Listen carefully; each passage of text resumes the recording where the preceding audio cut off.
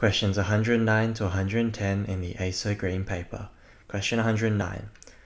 So the force due to an electric charge is equal to K, some constant, over uh, K, sorry, times Q1, Q2 over R squared, where R is the distance between the two charged particles and Q1 and Q2 are the respective charges of the particles. So the uh, all the particles in this scenario are metal spheres and they all have a uh, positive charge. So in this case, um, S is going to be repulsed uh, by both R and T.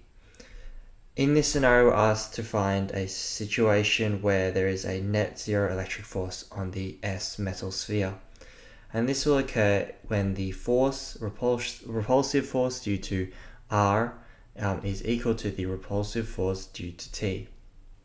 So what we're saying is Q, oh sorry, K times Q R Q S on, um, in this case, D1 squared is equal to K Q T Q S on D2 squared.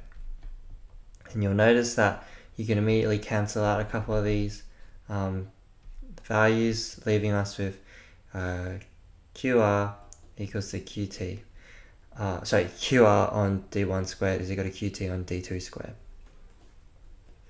So uh, let's just sub in quickly for the uh, charges. So QR is equal to Q. And this is equal to 3Q.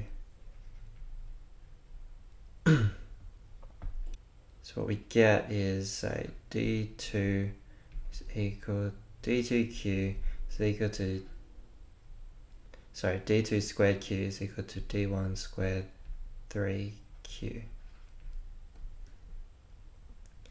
So therefore d2 squared is equal to d1 squared times 3. So d2 is equal to d1 times square root 3. So C is the correct answer for 109.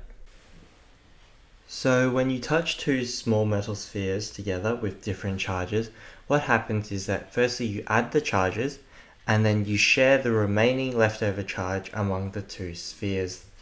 So we start with a charge of negative 2q and we touch it firstly to the R sphere.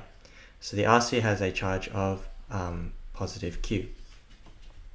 So overall we um, add these two charges leaving us with negative q overall. Um, but this is shared between the two q, uh, between the two spheres. So negative q essentially gets split up into negative half q to one sphere and then negative half q to the other. Now this uh, cube, now this sphere, sorry, is uh, brought and touched to the S sphere. Now the S sphere has a charge of plus 2q.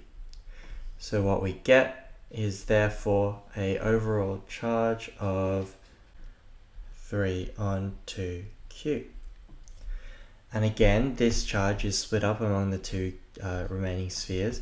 So one sphere gets half of this and the other sphere gets the other half. So we get 3 on 4q to one sphere and 3 on 4 to the other. And finally, we touch this sphere with the um, 3q sphere, the t sphere, and what this gets us, so 3q is equal to 12 on 4q, so what we get is 15 on 4q, and then again, this is split up among the two cubes, two spheres, so we get 15q on 8 in each sphere. So therefore the correct answer for question 10 is C.